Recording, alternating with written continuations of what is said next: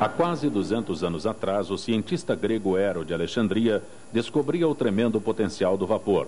No entanto, há menos de 200 anos atrás, é que esta tecnologia alcançou avanço suficiente para permitir que caldeiras industriais de vapor fossem utilizadas normalmente. Desde aquele tempo, as caldeiras têm sido constantemente melhoradas e atualmente são utilizadas na maioria das indústrias para fornecer eficientemente energia para sistemas de aquecimento e cogeração. Como a caldeira opera sob pressão, normalmente não é possível ver o que está ocorrendo em seu interior. Os termos arraste e umidade do vapor são termos largamente usados nas indústrias, ainda que poucas pessoas tenham visto estes fenômenos e o comportamento real da água no interior da caldeira era, até poucos anos atrás, motivo de conjecturas. Como nós só podemos verificar o nível de água através do visor de nível, e este é geralmente constante, muitas pessoas assumem que o nível de água dentro da caldeira se mantém constante. Este vídeo foi produzido com duas modernas caldeiras flamotubulares, uma fabricada com casco alongado e outra com projeto mais moderno com casco compacto. O vídeo mostra os efeitos das seguintes condições de operação das caldeiras: operação normal, bomba de alimentação com controle de nível on-off alto consumo de vapor, nível de sólidos totais dissolvidos STD normal e nível de STD alto. Vamos observar o diagrama da primeira caldeira, que será chamada de caldeira A. Devido ao seu projeto moderno, esta caldeira foi especialmente escolhida para este vídeo, pois seu casco alongado proporciona um processo de ebulição muito parecido com as caldeiras fabricadas há 20 ou 30 anos atrás. Esta é uma caldeira de três passes. A segunda caldeira, caldeira B, é também uma caldeira de três passes, mas neste caso o primeiro e segundo passe se dá no interior de um mesmo tubulão, com um diâmetro relativamente maior. Por esta razão, esta caldeira é conhecida como chama reversa ou tipo dedal. Esta caldeira foi especialmente escolhida, pois seu projeto compacto é típico das atuais caldeiras industriais. Aqui, o interior da caldeira A pode ser observado, visto da parte superior esquerda do final da caldeira.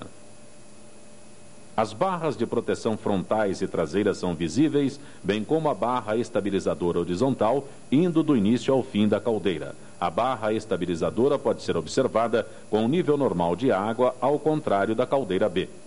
Na caldeira B, o interior pode ser claramente observado com a parte inferior da janela de inspeção ao centro. Atrás desta, podemos ver o tubo de proteção do sensor de alarme de nível baixo. A saída de vapor está entre a janela de inspeção e o tubo de proteção. E, no entanto, a saída do vapor propriamente dito não é visível, mas o vapor d'água formado quando a bomba de alimentação está ligada pode ser visto fluindo próximo a este ponto. Vamos primeiro examinar ambas as caldeiras operando com leve carga de vapor com nível de STD normal por volta de 3 mil partes por milhão. Notem como, mesmo com uma geração de vapor relativamente baixa, existe considerável movimentação na lâmina d'água e consideráveis variações no nível. Nós podemos verificar a necessidade do tubo de proteção para eliminar os efeitos da flutuação no nível de água se quisermos ter um controle de nível preciso. Aqui nós vemos a caldeira B trabalhando sob condições similares. A diferença é óbvia: muito mais turbulência e bolhas de vapor, pois devido ao seu tamanho a queima é mais rápida. Nós iremos reduzir a pressão de operação da caldeira B de 8 bar para 3,5 bar e observar os efeitos da operação a baixa pressão. Notem a forte turbulência e as grandes bolhas de vapor que explodem em direção à saída de vapor. A aparência da superfície da água é típica de uma caldeira operando a baixa pressão. As bolhas de vapor são maiores simplesmente porque estão pouco comprimidas. Quando a bomba de alimentação entra em operação, a primeira coisa que podemos ver é uma névoa que aparece assim que a bomba liga e desaparece no momento em que a bomba desliga. Este efeito é aparente nas duas caldeiras. A névoa é certamente causada pela temperatura relativamente baixa da água de alimentação, que está a aproximadamente 85 graus centígrados nas duas caldeiras. Um interessante fenômeno pode ocorrer quando a bomba de alimentação é desligada. Observe como, após a névoa desaparecer, o nível de água continua a subir. De fato, o que está acontecendo é que a água de alimentação fria cessa temporariamente a ebulição. E com o queimador ligado, o que iremos observar é o ressurgimento das bolhas de vapor assim que o processo se restabelecer. Este efeito é uma desvantagem no controle on-off e pode ser eliminado pelo controle de nível modulante, onde a vazão de água de alimentação é gradualmente alterada em função das mudanças nas taxas de demanda de vapor. Um efeito similar pode ser visto na caldeira A. No entanto, o aumento no nível da caldeira não é tão grande devido ao tamanho da caldeira. Se agora aumentarmos a demanda de vapor, o nível e a água irá subir. Observe primeiramente a caldeira A.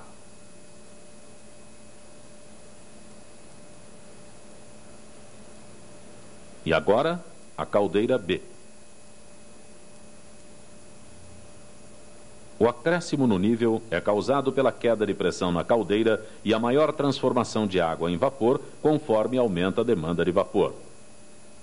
As bolhas de vapor se expandem sob baixa pressão, causando um aumento no nível de água, que não é sempre aparente através do visor de nível ou no tubo de proteção, pois ambos contêm água sem bolhas de vapor.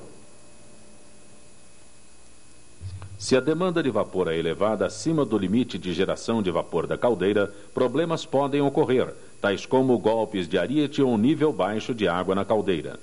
Se existir o arraste de água junto com o vapor para o sistema de distribuição, podem ocorrer sérios danos às válvulas e acessórios da tubulação, assim como riscos de acidentes. Um separador de umidade pode evitar os riscos de golpes de ariete causados pelo arraste de água, mas não irá eliminar os riscos causados pela formação de condensado. Impurezas na água da caldeira podem causar contaminação nas linhas de distribuição, válvulas de controle, trocadores de calor e purgadores. Nós observamos como ocorre o aumento de nível de água na caldeira quando a carga de demanda de vapor é elevada. Este fenômeno é conhecido como swell. Não é incomum, no entanto, observar uma caldeira desarmar devido ao acionamento do alarme de nível baixo de água decorrente de altíssimas demandas de vapor. Para provar isto, iremos aumentar a demanda de vapor na caldeira B por um curto período e observar seus efeitos.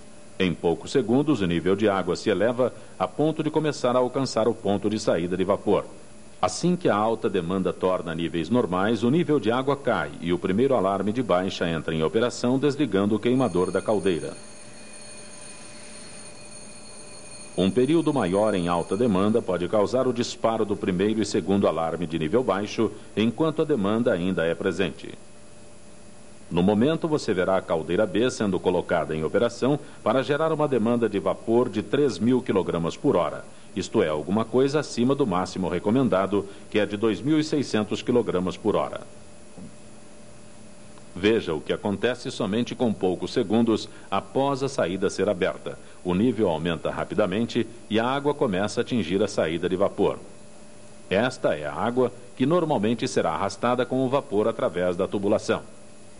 Agora o nível de água é tão elevado que encobre a câmera filmadora, enquanto o nível de água no visor começa a cair.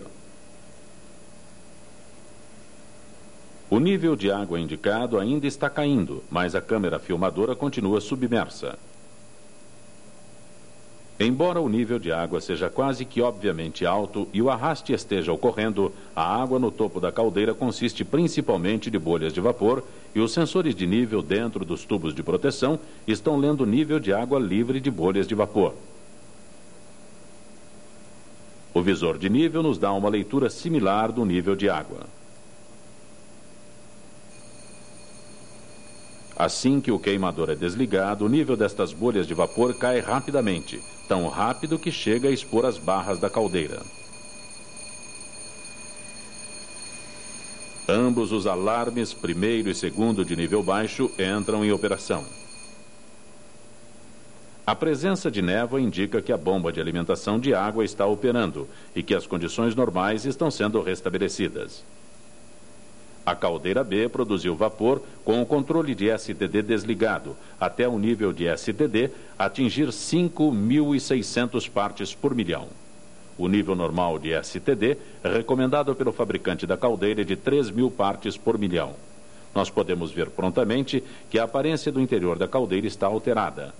As bolhas na superfície da água formam uma espuma com aparência cremosa e são muito menores e leves que durante o nível normal de STD. A superfície da água parece acalmar-se. Mesmo com uma demanda normal de vapor, o aumento do nível de água quando a bomba desliga pode causar problemas. Observe o que acontece. Em poucos segundos, o nível de água se eleva de tal modo que a espuma formada na superfície é arrastada pelo vapor, gerando vapor úmido.